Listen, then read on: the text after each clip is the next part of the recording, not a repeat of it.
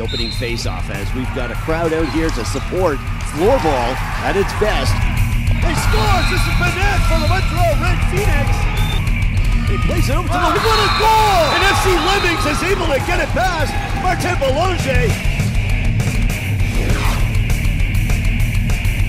Paris! And you can't wink without watching Paris play, take the shot. He plays it over to the What a goal!